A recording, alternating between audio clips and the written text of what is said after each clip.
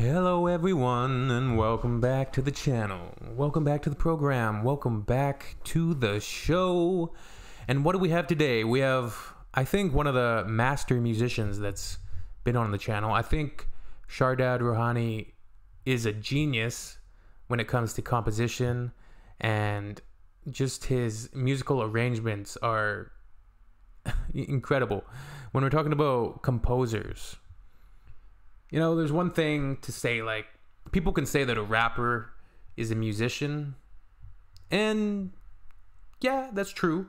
Um, but this man is a genius and just a when it comes to composition and co- composing and the mathematics of music the like him um you know, I'm no expert by any means, but I think of guys like Vangelis and I don't know about Yanni. I'm not too familiar with Yanni. I've only heard like basically the one song so far.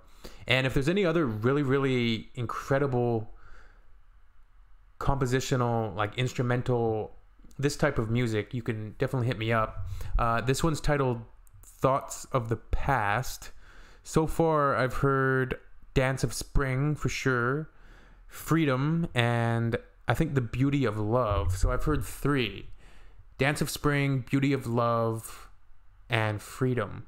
And each one has been utterly just a joy, an absolute joy to listen to. It's the type of music that. Uh, it's good music for people that don't do drugs and want to feel like they've taken drugs. um, it's really just transportational. Transportational? No, it's it's moving to that point where you're you have an out of body experience. I don't know about taking it that far, Mace, but yeah, it's incredible. So, thoughts of the past. Shahrdad Rohani. He is a Persian uh, multi instrumentalist, com- composer, classically trained musician, and uh, yeah, let's do it. Let's have an let's have an out of body experience. Okay. let's go.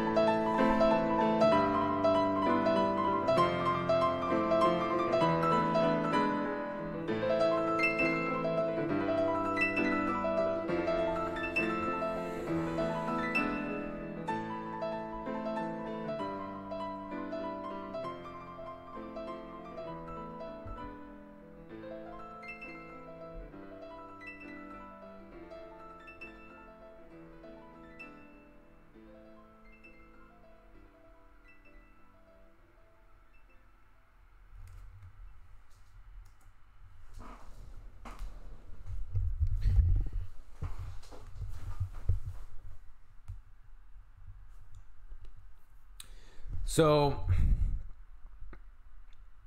there's certain types of music where you just want to close your eyes and really escape. I wouldn't say escape, you want to immerse yourself.